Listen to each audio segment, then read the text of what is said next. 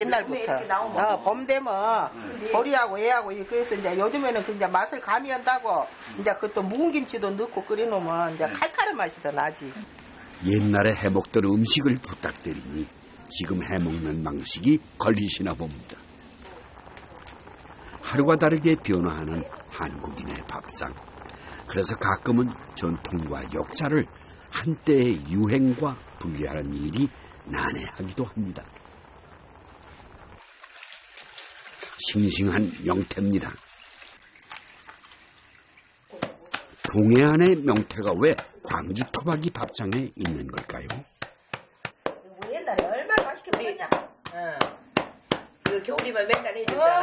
어, 아주 양념 많이 넣고 응. 아버지가 좋아하셨잖아요. 아버지가 좋아하고 우리 집온 사람이면 별미로 하죠 이것을 아주. 마늘, 파. 명태 대가리로 젓갈을 만드는 중입니다. 영창강을 따라 들어온 동해안의 명태가 이댁의 내림 음식이 된 것이죠. 와서 처음 봐. 응. 우리 사는데도 이거 안 했어. 또 광주인데 서쪽 방향으로 가는 고향이 그쪽이지. 여기하고 정 반대지. 그러니까 우리 사는 데는 이런 것은 안 했어. 그리 해도 먹을 때는 뼈가 36년 만에 처음 봐 여기 와서. 이제 이거 만진 것을 안 봤지. 어, 먹기만 했지 이게 직접 가보고 이게 만드는 저는 처음 보는 거지. 명태 대가리에 억센 뼈를 떼고 아가미까지 곱게 다져서 가진 양념을 합니다. 어머니에게서 물려받은 대로입니다. 며칠은 숙성돼야 돼. 그래 이제 이게 지 맛이 나지. 양념하고 어울러지고. 그러면 또 이것도 넣고 네. 사진 찍은 거 아니에요? 아시네. 이거 놓고 또 사진도 찍어야죠. 그럴 것 같은데? 네, 그럼 사진 한 장 찍겠습니다.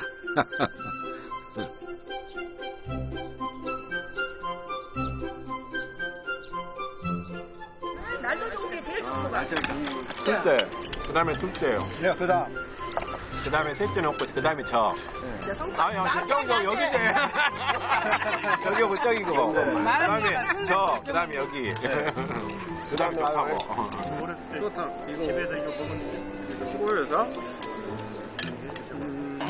옛날 맛이 안 나오죠.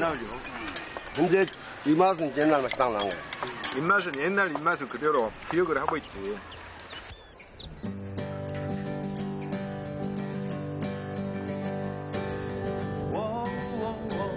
내가 아주 어렸을 적에 사진 공원에 갔었지 그곳에는 공문원도 있었어 광주가 지금처럼 전라남도의 음식을 모두 아우르며 하모니를 만들 수 있었던 또 다른 데에는 철도가 있었습니다. 광주 송정역에서 시작된 철도는 1920년대 만주까지 뻗은 거였죠. 그 거대한 철로의 시작점인 광주 송정역에는 커다란 우시장이 있었습니다. 광주 떡갈비가 탄생한 곳이죠. 밥밥밥하고 우유 한 잔 마실까? 워워워 내가 아주 어렸을 적에 사진